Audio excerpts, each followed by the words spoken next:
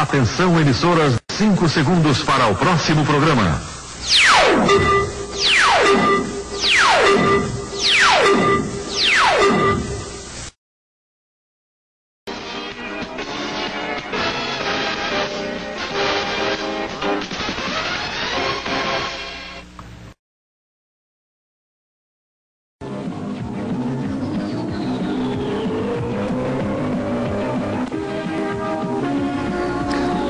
Começa agora o Jornal André Amorim, um jornal cheio de notícias até o fim.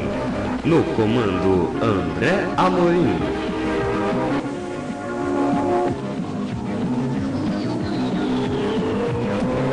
Olá! Muito bom dia, boa tarde, boa noite. Brasil! Tudo bem com vocês? Tudo bem? A partir de agora, Jornal André Mourinho, jornal cheio de notícias até o fim, edição 2085 de hoje. Sábado, 8 de setembro de 2012, vamos à manchete. Abatimento de até 50% do imposto. Últimos dias para obter descontos no seu IPTU. Na sessão de mulher, diretor da TV Globo agride técnico aponta 10. Barbai dentro de táxi. Você vai saber a respeito de Ercole Silveira. Essas outras notícias de capa de um dia você vai saber junto com algumas notícias do site Ofuxico e com a piadinha do dia. Hoje tem seu New 7 na coleção Arte do Dia, seu jornal do dia. Coleção Arte do Dia, seu jornal do dia. Amanhã tem cartela, saiba mais na edição de hoje do dia. Então, 7 seus mais 12,90 você receberá dois para essa semana. São produtos exclusivos. Yes! O Jornal começa Estas e outras notícias você vai saber logo mais no Jornal André que já está no ar para você.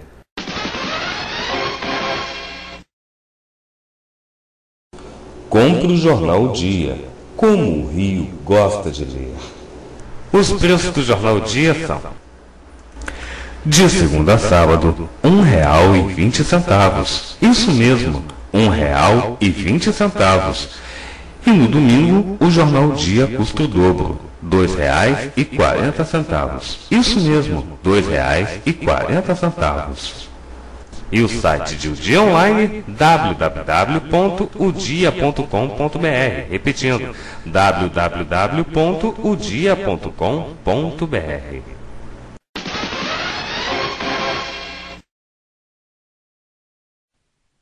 Piadinha. Minutos de Sabedoria. Por que será que é mais fácil frequentar um bar do que uma academia? Para resolver este grande dilema, foi necessário frequentar os dois, o bar e a academia, por uma semana. Veja o resultado dessa importante pesquisa. Vantagem numérica.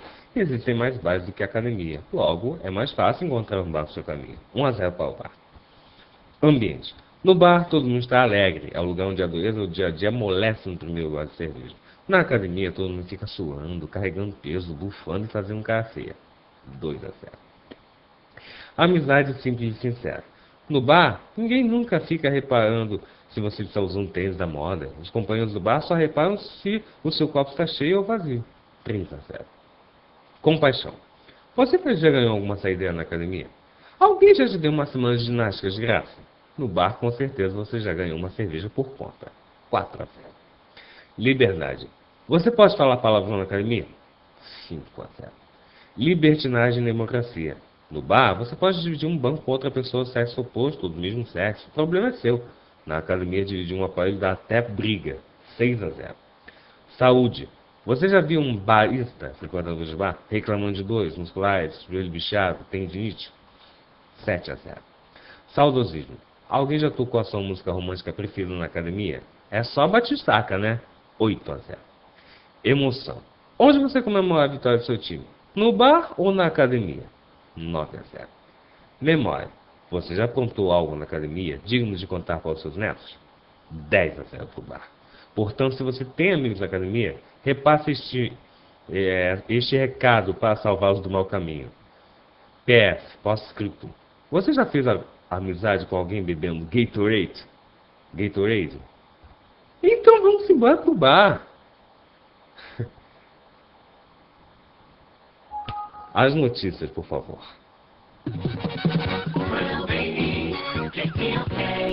Jornal André Amorim.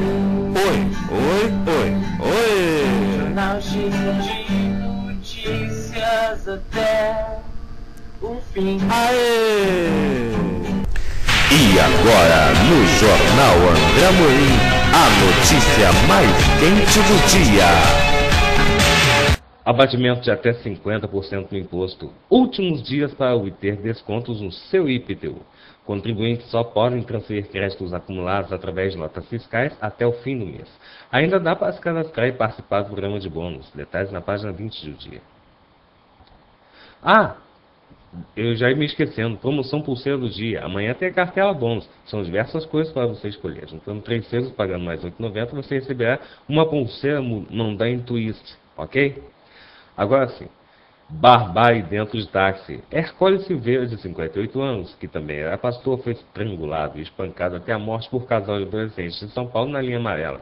Crime bárbaro chocou taxistas. Tio da acusada pediu perdão à família da vítima. Detalhes na página 10 do dia. Na página 11, na seção Rio de Janeiro, criança de 4 anos é ferida por bala perdida em operação da PM. Na página 3, na seção Rio de Janeiro, Clínica dos Bombeiros, barra paciente até com unha pintada. Que perigo, hein? Na página 11, na seção Rio de Janeiro, fúria em Santa Teresa. Homem é amarrado depois de quebrar bar. Corre. Na página 21, na seção Economia, credor tem 5 dias para limpar nome de devedor após o pagamento da dívida. Na página 24, na seção ataque, Flamengo encara Curitiba fora e tenta encerrar a série de quatro jogos sem vitória. Na seção de mulher, diretor da TV Globo agride técnico a pontapés. Luiz Fernando Carvalho é acusado por Tiago Mendes de tê-lo chutado durante a gravação. Caso foi parar na polícia. Detalhes na página 42 da coluna de Dias. Ainda na seção de mulher, nas páginas 32 e 33 do dia, Luísa, prima de Regina Casé, faz sucesso na música. E agora, as notícias do site O Fuxico. Maestro João Carlos Martins toca piano em evento. Ele abriu exposição em Shopping Paulista. O maestro João Carlos Martins abriu brilhantemente o coquetel da exposição A Vida das Flores de Suzy Geller na noite desta quarta-feira em São Paulo. O maestro realizou um breve concerto de piano, emocionando a todos que prestigiaram o evento. Muito bem, muito bem, muito bem. Márcio Garcia diz que Globo nunca lhe prometeu um programa. O ator teria saído da Record com a promessa de ter uma atração na concorrente. Quando Márcio Garcia estava fazendo um grande sucesso na Record, no comando de um Melhor no Brasil, hoje com Rodrigo Faro, a Globo o chamou para voltar à antiga casa. Na época, foi ventilado na mídia que o canal dos Marinhos, além de oferecer a Márcio o papel de protagonista na novela das nove, Caminho das Índias, posteriormente lhe daria um programa para comandar a atração. A primeira parte do acordo foi cumprida, mas a outra... Bom, em conversa com o Fuxico, Márcio garante que a Globo não lhe prometeu nenhuma atração. Não tem isso de que a Globo tenha prometido. Se tivesse prometido, teria cumprido. Graças a Deus estou fazendo o que quero, o que gosto. Não estou esperando o programa. Márcio diz que agora está focado em seu lado diretor, mas especificamente na produção e direção de uma, de uma série chamada A Teia, que tem previsão de ir ao ar no início do segundo semestre do ano que vem. Agora eu vou dirigir o seriado A Teia, no qual estou trabalhando há dois anos. E este é um projeto que estou me empenhando há muito tempo. Ele vai estrear em julho do ano que vem. Vou fazer uma participação como ator. Não vai dar para fazer algo muito grande por estar dirigindo. Estou focado mais nessa área, esclarece. Questionar se desistiu do seu lado apresentador, Márcio dá a entender que não é que não e, e, e ressalta que está focado em sua vida de diretor. Eu faço muitos eventos como apresentador e mato um pouco a saudade dessas horas, mas procuro estar focado naquilo que eu tenho de fazer. Eu fazendo direção e me empenhando muito nisso. Jennifer Lopez teria se negado a beijar Madonna em premiação de 2003. A cantora também ia fazer parte do beijo entre a popstar Britney Spears e Christina Aguilera no MTV Video Music Awards. O polêmico beijo na boca que Madonna deu em Britney Spears e Christina Aguilera em 2003 virou história nos MTV Video Music Awards e Jennifer Lopez poderia ter sido parte deste momento agora imortalizado. De acordo com a revista Entertainment Weekly, Van Toffolo, presidente do MTV Music Group, J-Lo também participaria do show que terminou em beijo, porém isso nunca chegou a acontecer com a cantora de On The Floor. É provável que essa seja a primeira vez que falamos nisso, originalmente. J-Lo, originalmente, J-Lo estava incluído na apresentação, mas nunca aconteceu, indicou Toffel, sem dar detalhes, mas deixando entender que a cantora não quis participar. Britney e Madonna tiveram sua história. E não é fácil juntá-las no palco. Britney e Christina, obviamente, respeitaram Madonna. Só ela podia levar isso, acrescentou. Angélica posa para fotos com o sócio de seu salão, Celso Camura. A apresentadora investe na filial do Espaço C Camura, que será aberto no Rio. Angélica parece ter se inspirado em Mona Lisa, personagem já vindo no Brasil vivida por Luísa Perecer, que fez sucesso com sua rede de salões de beleza. A Bela, que é a cliente fiel do cabeleireiro Celso Camura há anos, realiza uma parceria com Harry Styles. Angélica se tornou sócia da filial do salão C Camura, que está ou que será aberto no Rio de Janeiro em breve, no futuro shopping Village Mall, na Barra da Tijuca. E para enfeitar as paredes do estabelecimento, além de divulgá-lo, nada melhor do que tirar algumas fotos. Assim, a apresentadora que está grávida de seu terceiro filho foi para a cadeira de Camura e cuidou dos cabelos e do rosto para um ensaio ao lado dele. A Angélica fotografou alguns momentos de preparação e postou imagens em seu Instagram oficial. Nas legendas, ela chamou o amigo de sócio e disse que estavam se aquecendo para o nosso salão.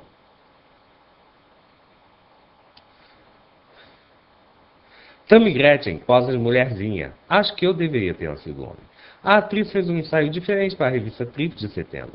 Tammy Gretchen tem dedicado todo o tempo a sua personagem na próxima novela das nove da Globo, Salve Jorge, que estreia dia 22 de outubro. Enquanto isso, a artista fez um ensaio especial para a revista Trip, posando com um ar mais feminino, o que ela já havia abandonado quando decidiu assumir sua homossexualidade. A atriz também conversou com a publicação e relembrou a época em que não ia com a sua própria cara. Olhava uma coisa e me sentia outra, tanto que eu não conseguia comprar roupa para mim. Minha mãe comprou roupa para mim enquanto eu fui menina. Eu não sabia combinar um brinco com uma pulseira, um sapato com uma saia, sabe? A filha de Gretchen disse também que quando estava com 25 anos foi ao ginecologista com a sua mãe, a cantora Gretchen, e ela descobriu que sua filha era virgem. Chegou na hora, o médico falou que não dava para fazer o tal exame. E minha mãe, que estava junto, perguntou se eu tinha algum problema. O médico falou para ela ou melhor, o médico virou para ela e disse: Problema não, mas ela ainda é virgem. Ela não se conformava, pelo menos experimentava para ver se você gosta. Ou pelo menos experimenta para ver se você gosta. Acho que foi naquele dia que caiu a ficha dela e ela e que ela entendeu que eu não gostava mesmo de homem. Se considerar como eu me sinto internamente, acho que eu deveria ter nascido homem, porque é como se eu não conseguisse pensar como uma mulher. Sobre o convite para fazer parte do elenco da próxima novela das nove, ela afirmou que finalmente está fazendo um trabalho que esteja gostando de verdade. Eu estou amando, e se a Glória Pérez acreditou em mim, quem sou eu para não acreditar? Estou amando os ensaios, as leituras de texto, tudo. É como se finalmente eu tivesse encontrado algo de que eu realmente gosto.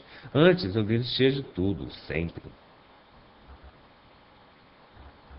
E agora, a última do jornal André Amorim.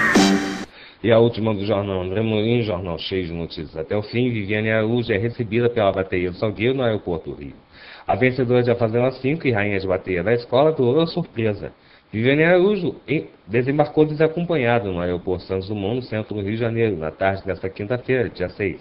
A vencedora da quinta edição de A Fazenda da Record ficou feliz com o grande assédio da imprensa e de fãs no local distribuindo sorrisos e acenos. E a felicidade só aumentou quando a bonita notou a presença de parte da bateria da escola de samba é, Salgueiro, da qual é rainha de bateria. Assim que Vivi deixou a área interna do aeroporto, correu para perto dos músicos, mostrando-se emocionada e incrédula com a surpresa. Em uns momentos ela tocou tamborim, acompanhando a música. No próximo sábado, é, quer dizer, hoje, sábado dia 8, o Salgueiro vai dar uma festança para Vivi por conta de sua vitória no reality show. A comemoração acontece na quadra da agremiação localizada na Zona Norte Carioca, mais precisamente na Tijuca.